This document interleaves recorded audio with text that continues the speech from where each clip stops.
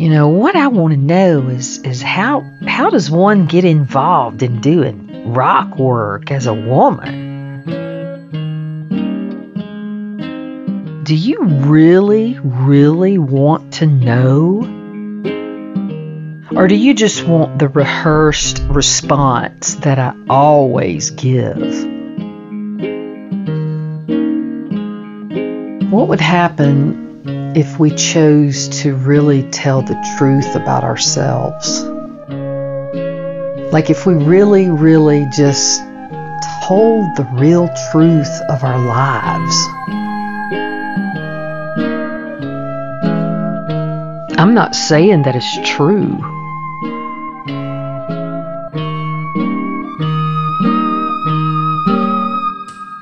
I'm saying that it's my truth. You're listening to Hammered.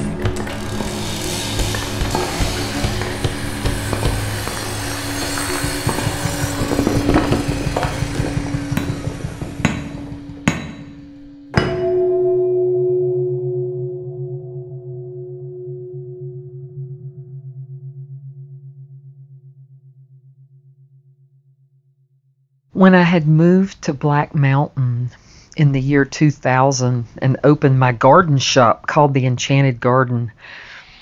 I had painted on this uh, upper corner wall, kind of like near the ceiling. Uh, there was a, a little space about a foot between the trim and the ceiling, and I had painted in this kind of gold leaf, kind of fairy tale-ish type uh, font. Not not really old English, but sort of, I don't know, leaning that direction. And um, I had put uh, dot, dot, dot, and they lived happily ever after. And I had actually gone into a house in Atlanta uh, way back in my landscaping days, one of my clients, and she was a really cool woman, and they had this just gorgeous house in Buckhead, and uh, she would always invite me in the foyer, you know, if she was going to write me a check or pay me or whatever. And I remember I came in one time and I looked up and I saw this uh, lettering, like stenciling, and but it was very classy. It wasn't tacky. It wasn't like a Michaels kind of thing. It looked very uh, kind of old and European looking, and it really stuck out to me. And so that sort of uh, gave me the idea when I had opened my shop. I wanted it to be very enchanted, and it was. Um, but I think that there was something inside of me that truly believed in that fairy tale. As you know, as ridiculous as it sounds, I think there was a small little part of me that still believed that you could live happily ever after. And I think that's why I had kind of, you know, affirmed that on that wall. And now here it was, you know, flash forward 22 years later. 22 years. I mean, it's so crazy to me at how quickly my time has flown by in Asheville, North Carolina. But, you know, here I was in this almost like a fairy tale, and they lived happily ever after. And I was starting to really believe and love my new life and my new future that was starting to form. And I got a text about 3:15 one morning and it was it was Helen, Helen of Greece and she said, Babe, I don't have enough people. I don't have enough workers. And and so I text back and I said, How many more do you need? And she said about twenty. But she said that the um, what had happened was that the protocol, the COVID protocol, had really affected uh, the workforce you know, at the vineyard and all over the country. And really, she said people were pretty scared in Greece because of what had happened in Italy. And she was very frustrated though because now she has all these uh, how she has housing and she sent me pictures of this housing where the workers stayed. She called them squatters. I'm like, what's a squatter? I'm always thinking like a crack house, but she sent this picture and it looked like a dang resort. But she said, you know, her dad had built all this housing and everything, but over the years, you know, there were plumbing issues and electrical issues, and basically she'd gone back over to kind of get everything up to speed. And she said that day she was traveling to go uh, visit this Chinese company that worked on uh, winery equipment, and that there was a lot of rust in some of these heavy machinery. You know, some there was rust, and there were the rodents had uh, eaten through a lot of the wiring.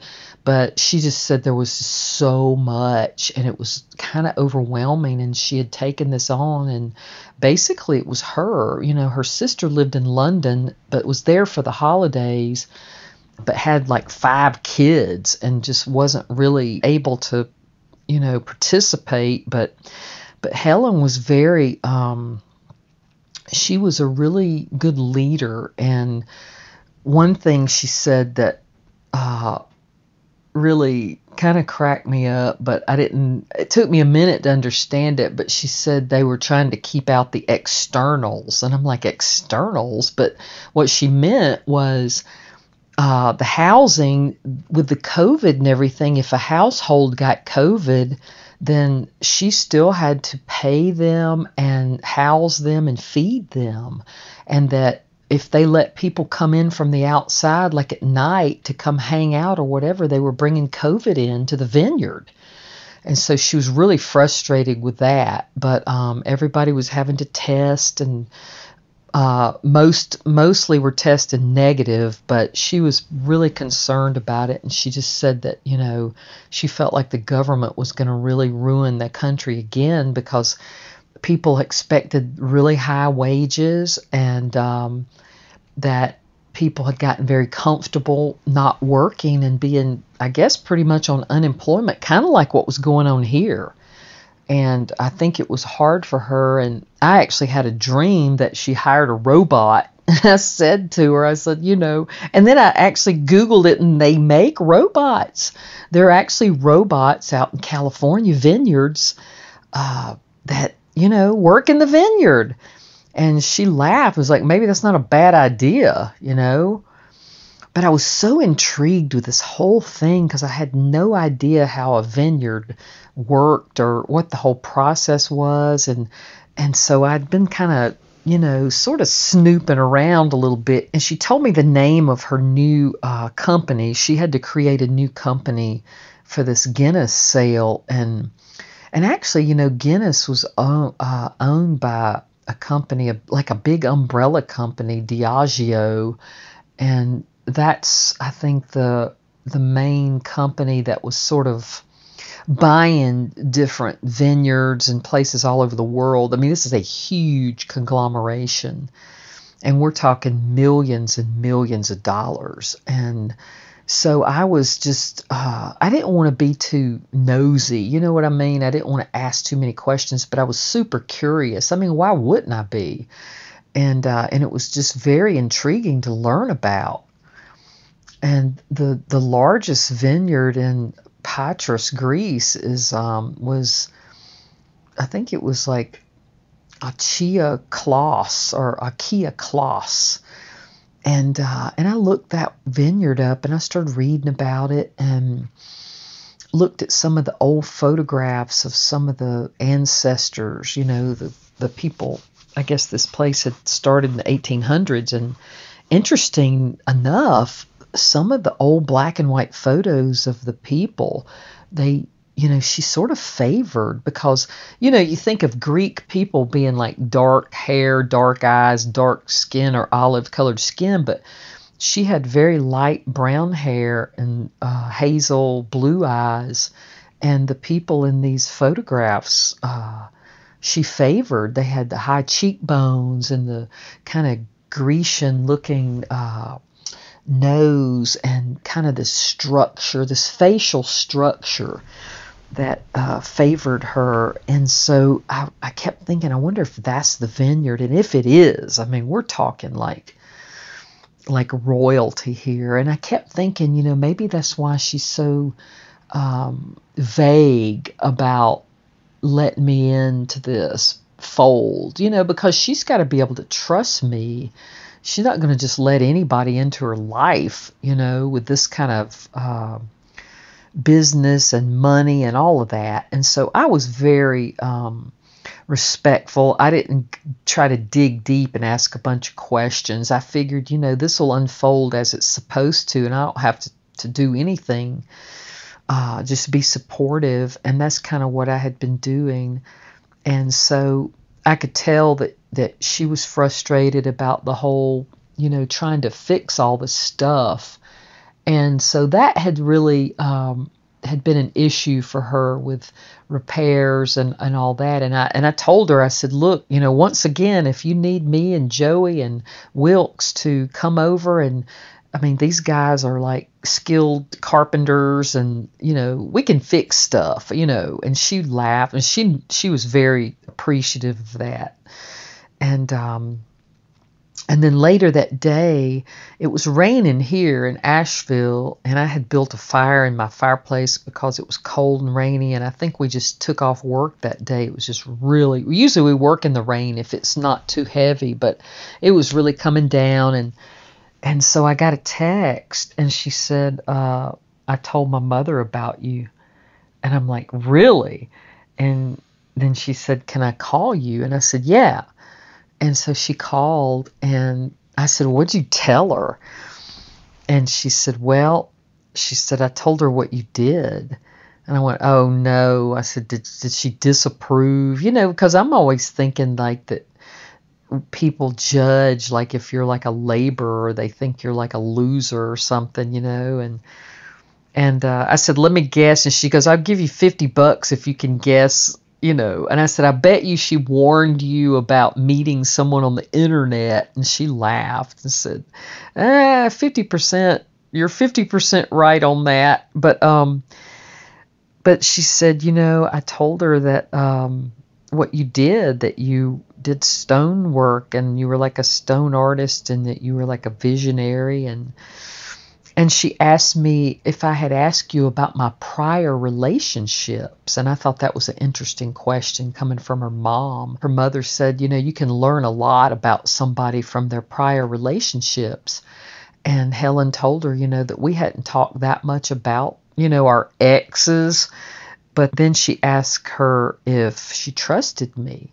And Helen said, You know, Mom, she hasn't given me a reason not to. And so um, I sent her a picture of my ragged pants and my boots just from the waist down in front of the fireplace. I said, just don't show her my clothes. And, you know, we were laughing about that. And um, we got to talking about um, the future. And, you know, as I record this and talk about this, I've never shared a love story of my life. I've never shared like intimate details about you know getting to know somebody or how a relationship formed. I've told little bits and pieces along the way.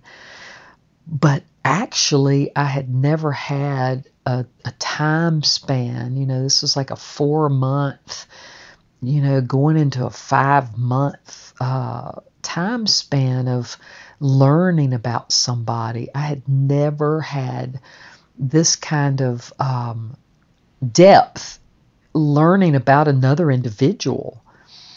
Usually it was, you know, in person. And so we talked about uh, what would happen if we, when we really meet. I said, Are you nervous? And she says, Not so much. And I said, Well, I'm a little bit nervous. And I said, But I told her, I said, You know what, Helen? I said, If we meet and there's no chemistry, you know, we got to be honest and we have to be upfront with each other and just say, you know, hey, it's not there for me. I said, but nothing. I mean, the thing is, is we'll we'll have a friendship. If nothing else, we'll have a friendship for life because I really felt like um, I felt very close to this person and I felt like there was just so much in common and um, I said, no matter what happens, you know. And so we we talked a lot that day on the phone, and she told me that the guy at the uh, that she ran over, he was drunk. He was basically had been drunk, and the timing of it was just crazy. And he just fell off in front of her car, but that he was okay and that he would be going home. And uh, but she kept saying, Jill, I am so grateful. I am so grateful to God that I did not kill this man. And, uh, you know, because she just said, you know, this deal with Guinness was like the biggest thing that had ever happened to her and her family. And it was like a dream come true. And she was just so afraid and didn't want anything to, to you know, mess it up. And I got it. I was like, I get this totally. And she sent me some pictures of these grapes, you know, the grapevines, and a picture of her cousin and her husband. And I'd never seen grape clusters like this. I guess they were like Merlot grapes and uh, Muscat. I don't know if I say that right, but um, I was getting a whole education, and this was just so interesting to me. And so we had started to. Uh, really begin to plan a little bit about where we might live. I mean, I was completely, I had never talked about um, to friends, even. My friends were asking me some questions and said, Do you think that y'all will, you know, be together? And I said, Yeah. And they, they were like, Do you think you'll get married? Sort of laughing. And I said, You know what? I would probably marry her tomorrow because I just had never felt this close to somebody. And um, and marriage was not a thing for me. I I could never. I think deep down you know when there's when you should or shouldn't do that. And I I never believed in it that much.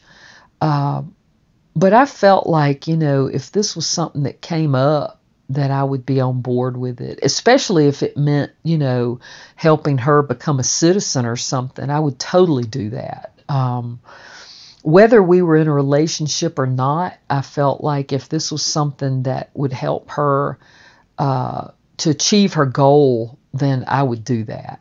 And because, yeah, I, I can sacrifice my my marriage availability. It doesn't really matter to me.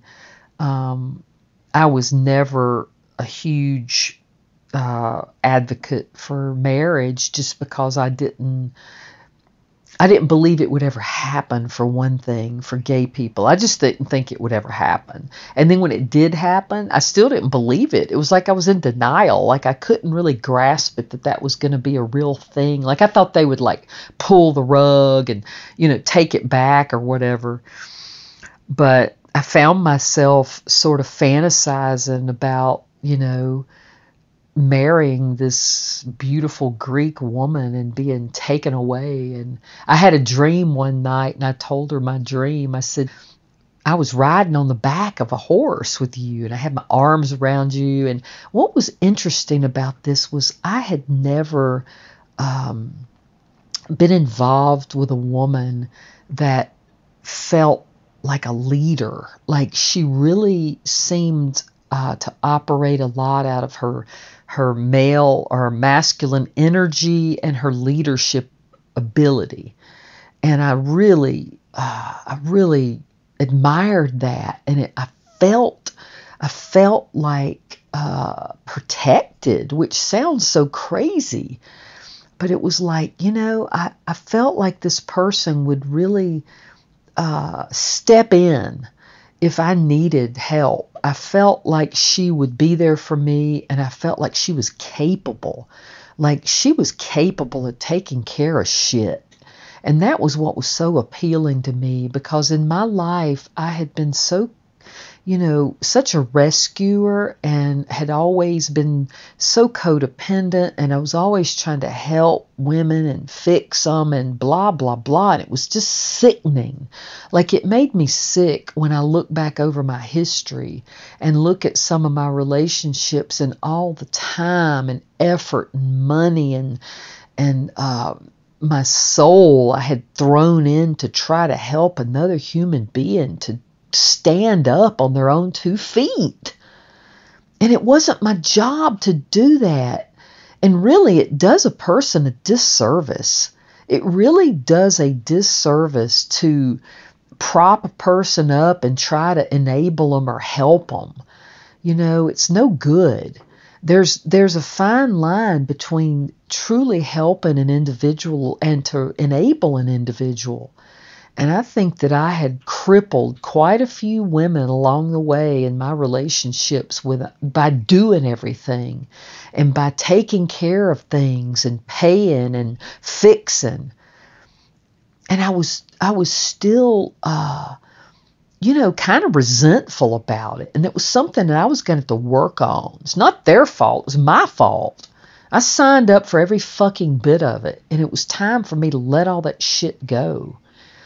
And, you know, I was just so happy and grateful that I had an opportunity now to move forward in my life, you know, it, and I just turned 60, and it was just this new, fresh outlook of, oh my God, you know, if I have 30 years left, because I know I'll probably live a long time, I feel like, because I'm pretty dang healthy. But I thought, God, you know, it can be so uh, different and fun. It's like, you know, we work the kinks out. It takes that long to work the kinks out. Now we can get on with the job of living life.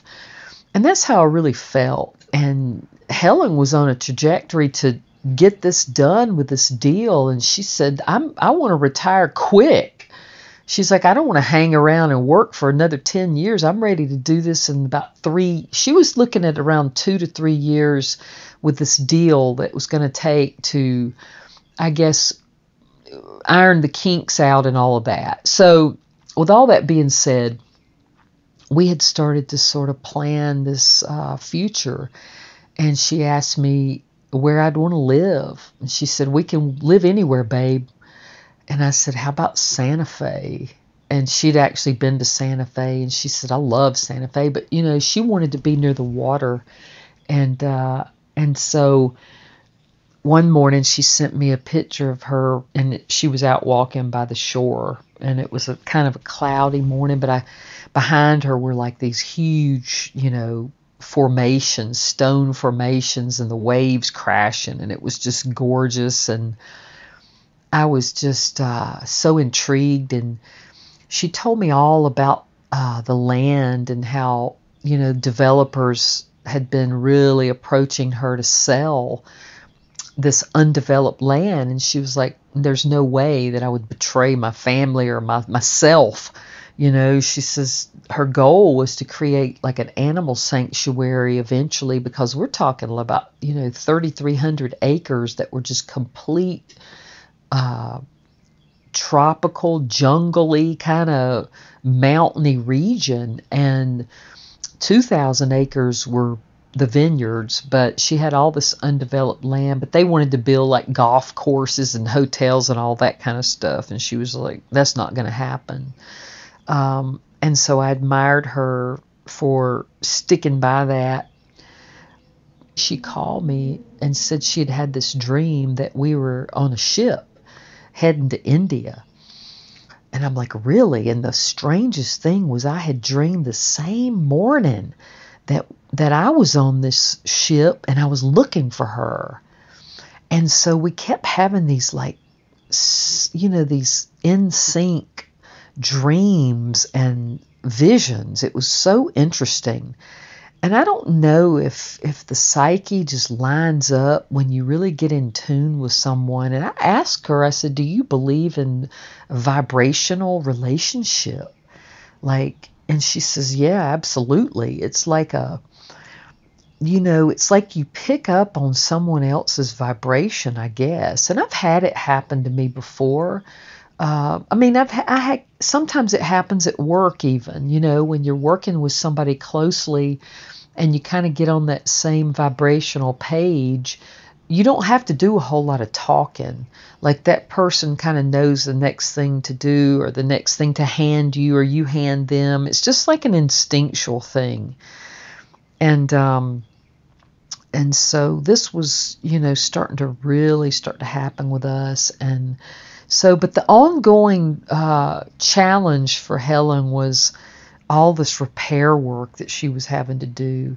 And she said it was really starting to put her behind and and she was kind of getting frustrated. But you know Guinness this this deal she was supposed to be able to deliver 10,000 barrels of red wine you know by the end of February early March and the production you know so that was the big push and she was going to end up having to stay over there longer than she thought. She thought she'd be over there like maybe two or three weeks, but now it was pushing into a month. And I said, Well, you know, when do you think you'll be back? And she was like, You know, I don't know, babe. She said she might have to fly back like a week and then turn around and go back. And she was even going to leave the dog over there instead of, you know, bringing Chill all the way back and then turning around and having to go back. Um, so during this time period, there was just a lot of um, decision making, but also she was really uh, enjoying being with her family and her mom, and she got sick again, and uh, I ended up sending her picture to Steve over at the Harmonic Egg because he could actually put your picture in the egg and do like sound vibrational healing. And I said, Hey, man, I said, Can you put Helen of Greece in the egg? And he was like, Sure. So I sent, you know, I texted him a picture of her and he printed it out, put it in the egg. And uh, and then my friend, my other friend, my artist friend, that's really tapped into the outer ethers of the universe. She did some candles and some you know, rituals around it. And by God, the next morning she texted me and said, Babe, I'm so much better. And I really thought it sounded like she had COVID.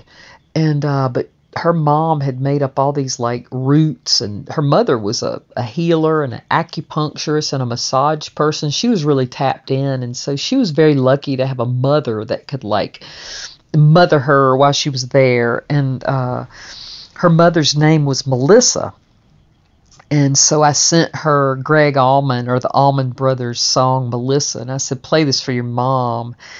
And she said her mother loved the song, and uh, and that was another thing that was happening was um, all these songs, and I'd sent this. Uh, I finally started making a playlist. You know, it was like I'm going to make a playlist of all the songs that we have sent back and forth to each other and uh, there was this one particular song that, um, and I can't, I, I can't even remember the name, but it just kind of popped up on on my li- on my suggestion list, and um, it was about getting it right this time, and I can't remember it off the top of my head, but it's uh, I think for me, I felt like I had so many failed relationships in my life, and I was kind of scared, you know,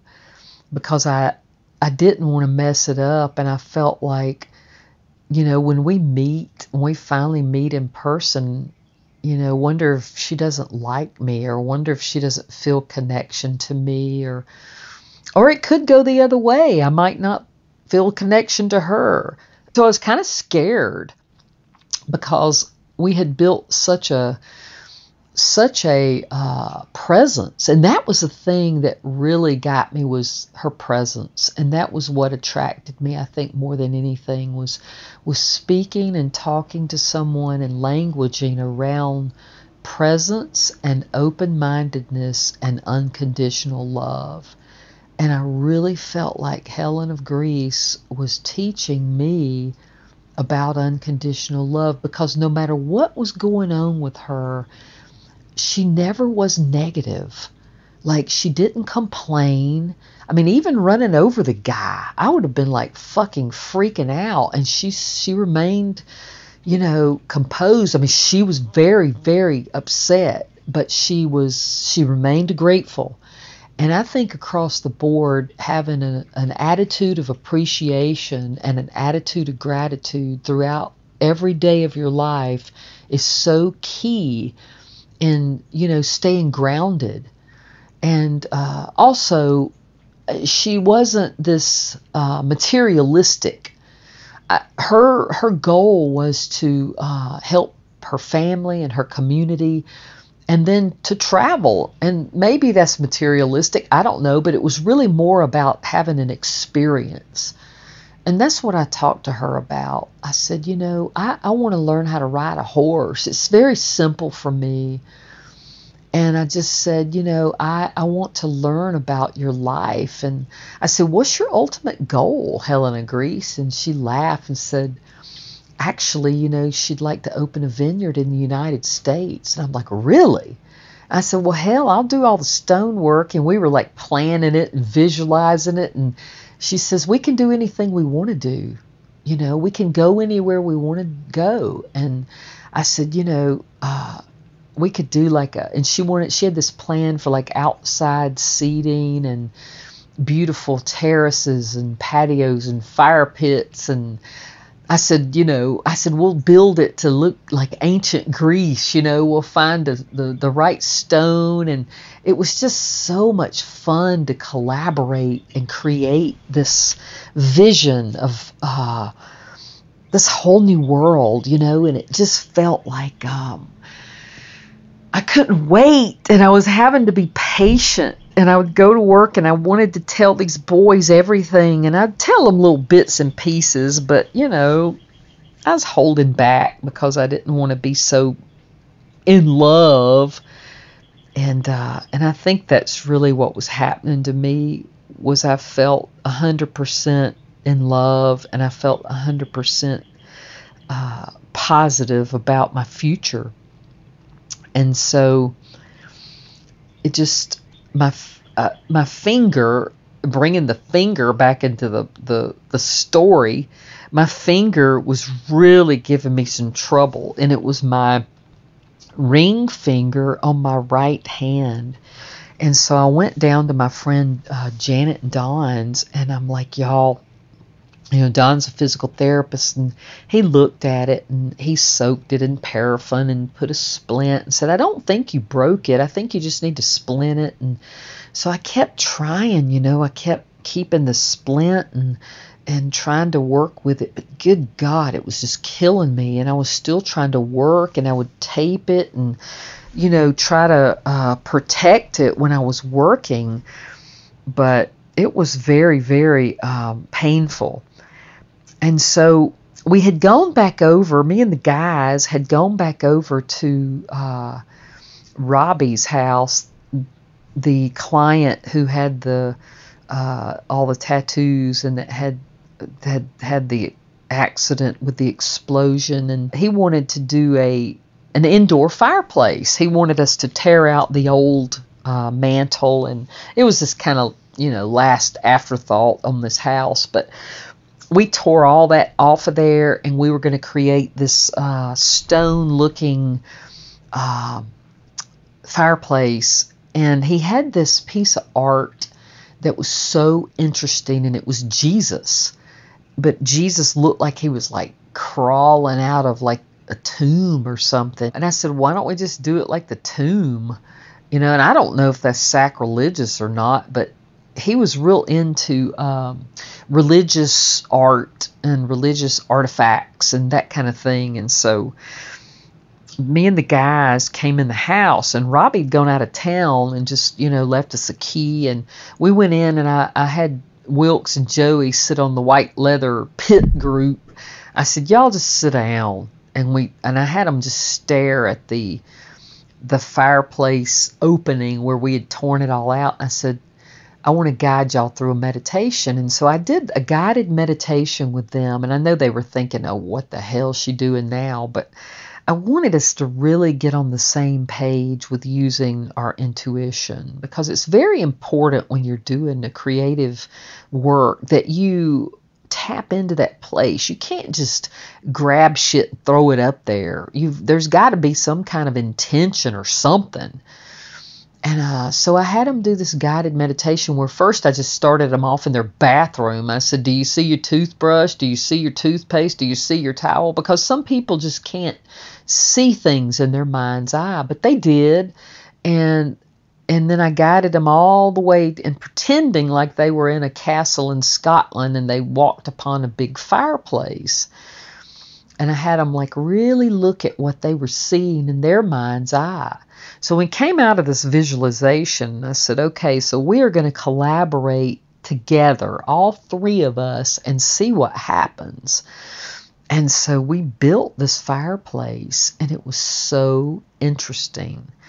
It was really, really different. And it was different than anything I had ever built on my own. And so um, Robbie came back into town, and he was just in awe like he really, really loved it. And we were so happy that he loved it because it was a labor of love and it was heavy and we had to bring in some heavy pieces for the hearth and for the mantle um, and actually rolled in pieces on metal pipes and uh, there was a guy working there doing a lot of handiwork uh, named joel who was very sweet and he helped us uh, because of my hand and my injury. It was kind of hard, but he helped us get some of that stuff in too. And so that job was um, was a very uh, fun, interesting, and that's that's what makes it worth it. You know, when you can have something like that and see it to fruition, just a vision like that, and uh, and then the accolades that come from it and of course getting getting paid is important too but uh, but just pleasing somebody in that way with your vision is just really really cool and so with that you know life had really taken a turn for me in January and February of 2022 and I was just really uh, feeling like finally I had manifested a happily ever after, and finally I had manifested the kind of life that I truly, truly wanted. It was like my dreams are coming true, and I'm going to get to travel, and I'm going to get to leave this this labor lifestyle behind.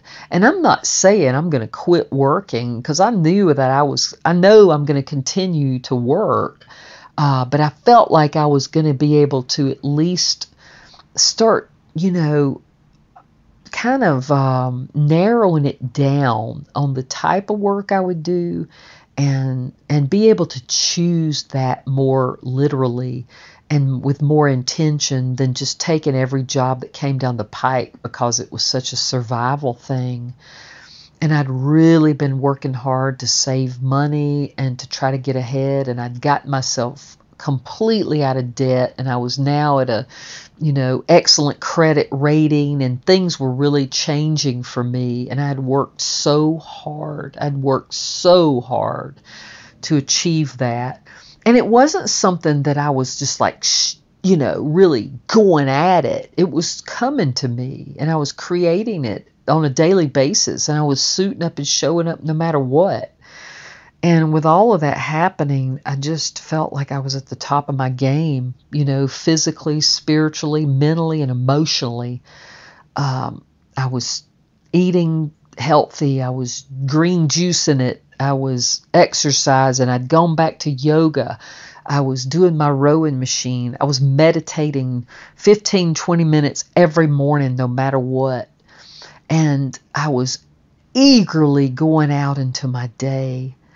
You know, this whole relationship with Helen of Greece had given me a whole new outlook on life because I finally felt like there was someone on this planet.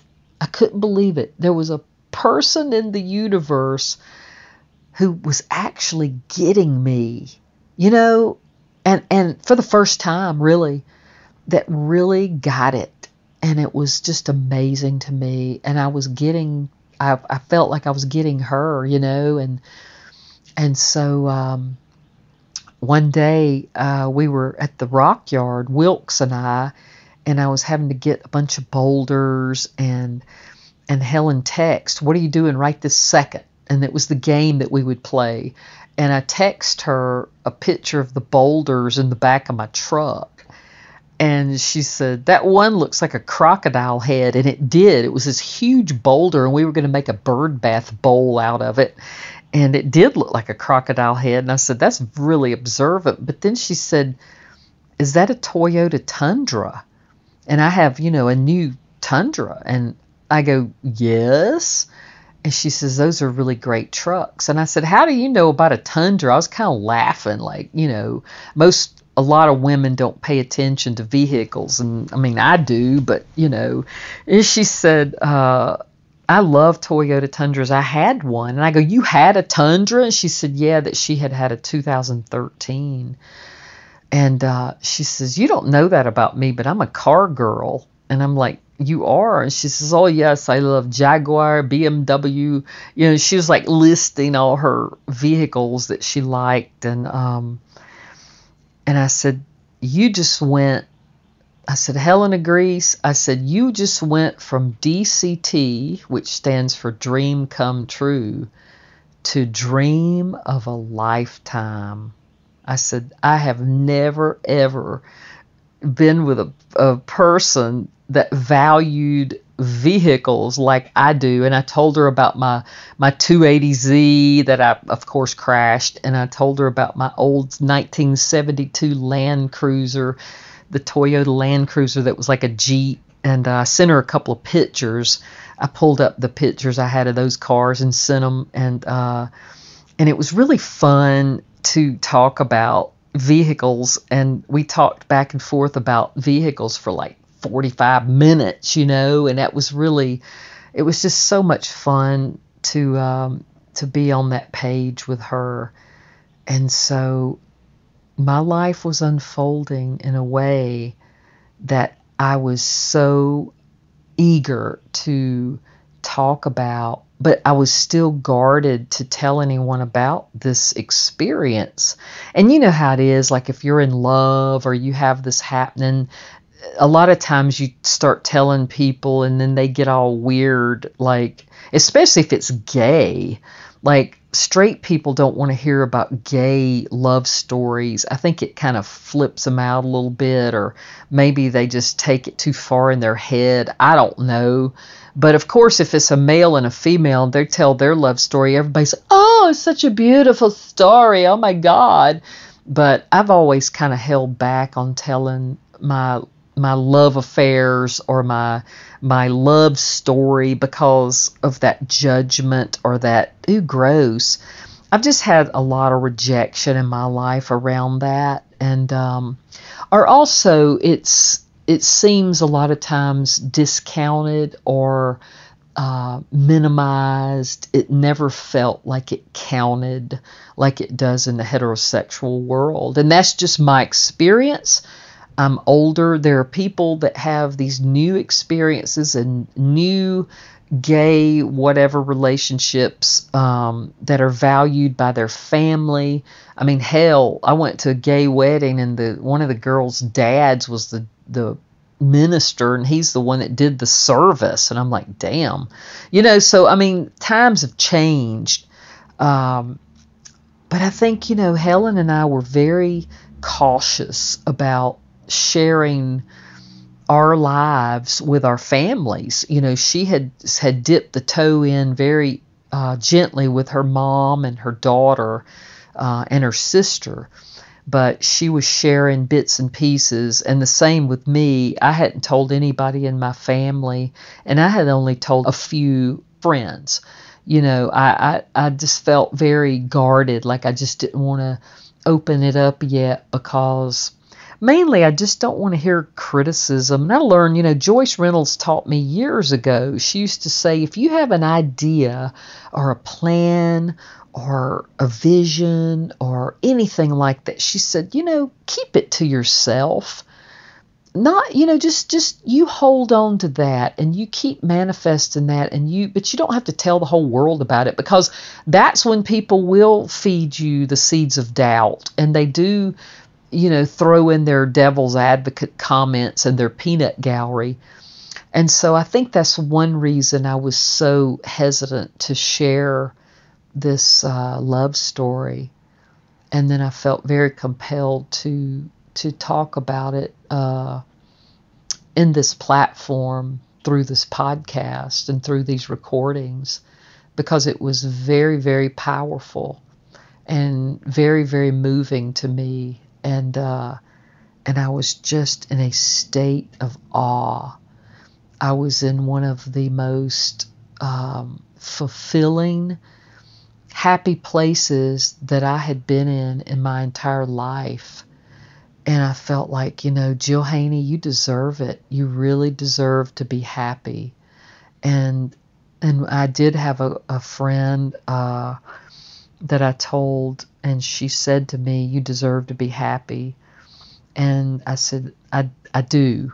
I do feel like I deserve that." You know, through all of it, through all the pain and all the nightmares and all the chaos and all that destruction, which I created, every bit of it. You know, uh, I felt like I had done some work to get to a place to where I could have a life now that was going to be satis it was going to be a satisfying life. And i think that's what we're all ultimately searching for is some type of satisfaction you know? But it's my job each day to control my mood and learn how to get out in front of that negativity and learn how to get out in front of that uh, you know that that downtrodden chemical imbalance or whatever the fuck we've got I've got I mean I I have to really work at it through exercise and meditation and writing and journaling and praying and god dang it's a lot of work.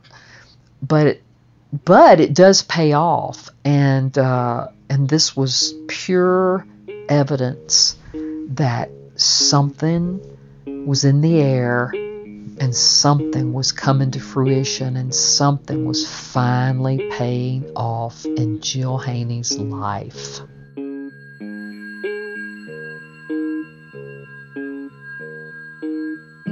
Hammered is recorded and produced in the Blue Ridge Mountains of Asheville, North Carolina. It's narrated by Jill Haynie, produced by Maggie Briggs and Jill Haynie, and with sound design, editing, and music by Alexander Rodriguez. Our beautiful artwork was created by Lauren Caddick, and we'd like to send a special thanks out there to Minnie and Robin.